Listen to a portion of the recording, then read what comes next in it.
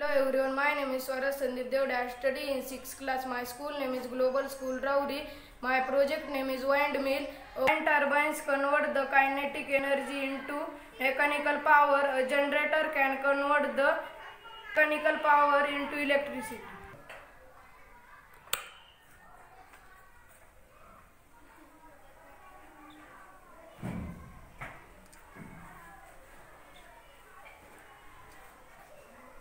Thank you.